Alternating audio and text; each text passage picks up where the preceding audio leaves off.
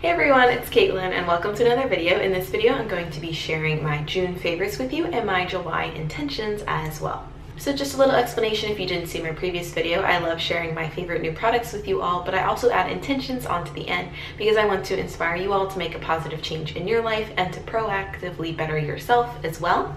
So let's get started. So my first favorite for the month of June is this thing called f.lux. It's not really an app because it's not something you play with, but you download it to your computer and it's completely free, which I thought was really awesome. So the thing that the app does is it simulates your computer screen to match the sunrise and sunset of the area that you're living in.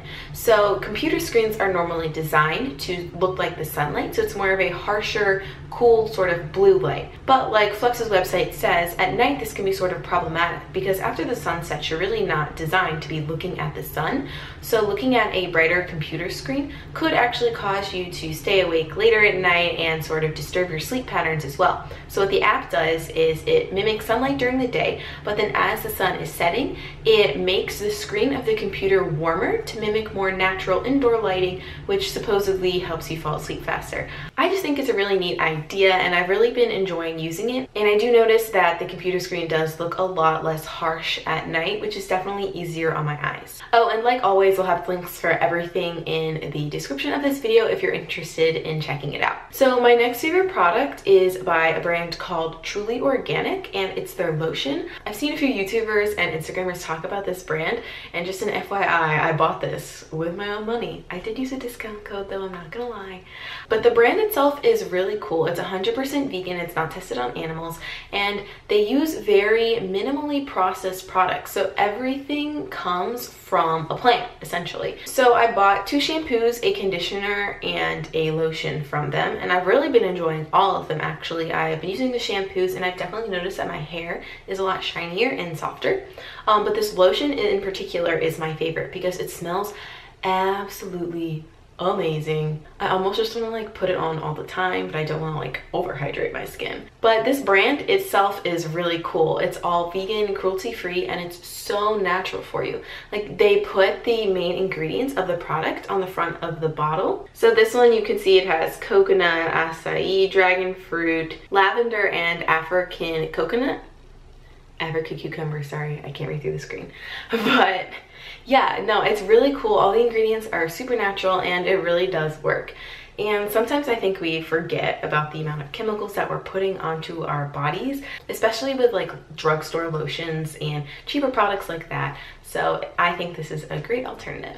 Okay, so my next favorite for the month is kind of unusual for me because I don't wear makeup too much, but it's this makeup brush kit from Vanity Planet. And the thing I really like about this is that it is 100% vegan. And I know what you're thinking, hold up, Caitlin, that looks like leather, but actually I think it's super cool. This is not made from leather, it's made from lychees. And I don't know if you all know what a lychee is, and luckily enough, I actually bought some lychees yesterday, so I can show you. So these are lychees, see they're like pink and kind of spiky. And this is the case, but like it literally looks like leather and it's so soft and I just think that that is so cool. Okay, anyways, but what's inside the case is actually my favorite. And it's this well, this is why I am not a beauty guru, guys. It's this brush kit, and I think there's about like 15 different brushes, and they're all super soft, and I like how the smaller ones come in a variety of sizes, so I can be more precise about when I'm applying my makeup, and they also have like little travel pouches for the big ones. I just keep it in the back. But yeah, I've been using these to apply my makeup these past few days and I do really like them. This contour brush um, for bronzer is definitely my favorite. But yeah, I definitely appreciate that these brushes are cruelty free because a lot of makeup brushes use horsehair or other animal hair and that's definitely not vegan and also definitely not cruelty free and I think they're really cute too. Like I like the wooden handle. It looks more natural and goes with my like hippie vibes so if you're interested in getting these, I actually have a discount code for these and you can get, I think it's like 70% off and they're only like 30 bucks, which is a really good deal for makeup brushes. I do have one food related favorite for the month. And if you all watched my Aldi grocery haul, you'll know that I got this there and it's this red sauerkraut. It says it's red cabbage with apples and people were saying, I think it's like rotkraut. So it's like a less intense sauerkraut and it's a little sweeter. But yeah, I got this at Aldi and it was only 25 cents and it's so delicious. I love sauerkraut. And now I need to figure out how to make this for myself because guys, I bought this like two or three weeks, I think like three weeks ago. And there's like one serving left.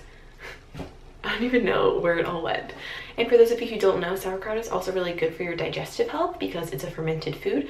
So this past month, I also tried to focus more on probiotic foods and I would either have like this or some kombucha almost every day. And I do think it helped my digestion a little, but honestly, it's just really delicious as well. So that's mostly the reason why I ate it.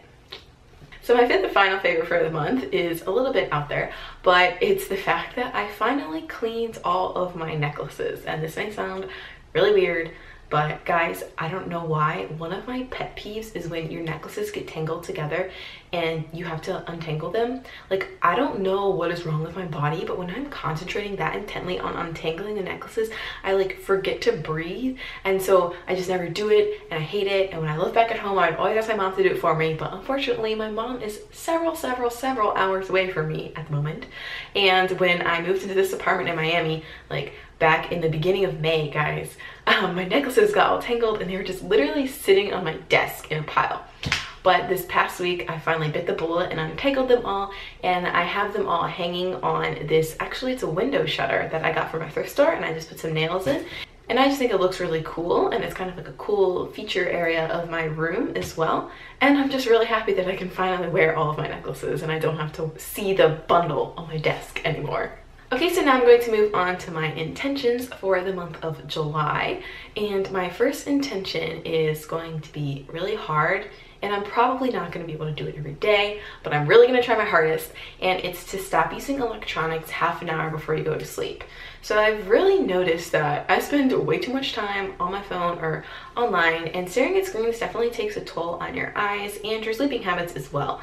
So I think that it's really important to relax and sort of de-stress and get rid of all the electronics and like flashy distractions before you go to bed in order to get a better night's sleep.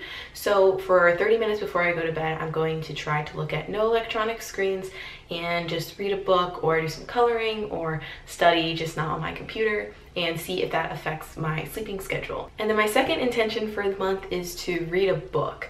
When I was a kid growing up, I love to read. Like I would go through Nancy Drew books and Boxcar Children books and sci-fi novels like there was no tomorrow. My nose was always in a book and because of that I think I developed a really good vocabulary and I can actually read really fast. So I'm really thankful that I read a lot as a kid. However, ever since I started going to high school and college when you're actually assigned books to read for English or like in college and now in graduate school when I have to read textbooks, you spend so much time reading and studying those that I almost feel like you're less motivated to read other books in your free time. However, I want to get back into it, so it is my intention for this month to read a book, and hopefully that will start a healthy habit of me reading again. And now that I think of it, this actually ties in really well with my other intention, so in the 30 minutes before bed, maybe I can read my book. But if you all have any book suggestions or any cool books that you just read, let me know in the comments below and I'd definitely be interested in checking those out.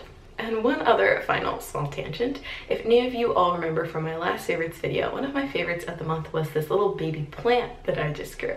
And I just wanted to let you all know that I have not killed him yet and he's doing a great job. So I'm not going to lie, we did have a close call and I almost lost him because a whiteout dispenser somehow fell into the pot when I was at school and crushed him and it almost broke his stem and I thought it was the end, but he survived. He's getting a little tall though, so I just used a pencil and some string to sort of prop him up and it was also to help fix his battle wound.